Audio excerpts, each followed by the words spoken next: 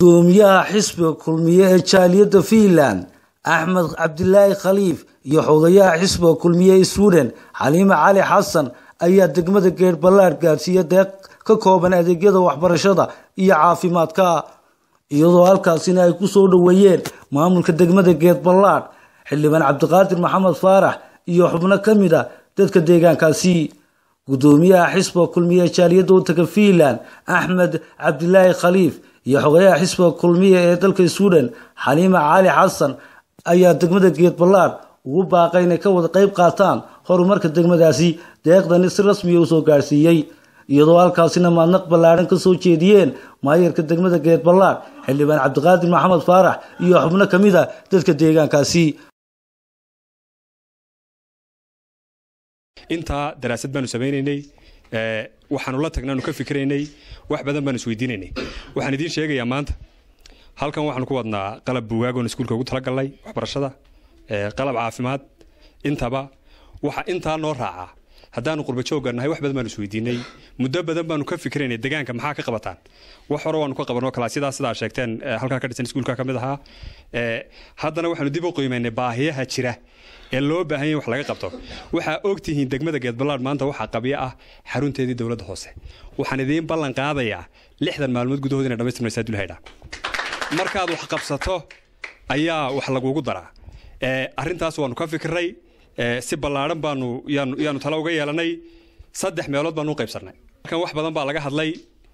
Haddaynu xagga siyaasadda u nimaadno ree geedballaadhow ama cawda ama waxa idinka maqnaadaan ama cid ku canaanto horta kulmiye maanta waa ku khasbantiin waayo idinkaa musharaxa. Marka maanta waxaan aad aad u jeclaystay inaan geedbalaadh inaan imaado inaan wixii muhiimka ahaa. Sida adigu dadkeena soomaali waxaa dhameeyey wax dhiikarkaa dhameeyey inaan laska baaro iyo qalabkaas iyo wixii xumadda laskaga qaadayay wax muhiima adigu wax yar halkaa ku jiraan keenay oo aad aad u muhiima. Iyo waxaan ballan qaaday inaan wax ka weyn inaadii keeno insha allah ilaahay aduu ka dhigo waxaan jeclaystay inaan waddankayga aad aadaan u caawiyo.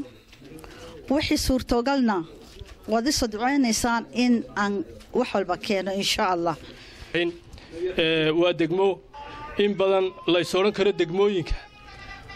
Way ka gaabisay heerkii horumarineed ee degmooyinka.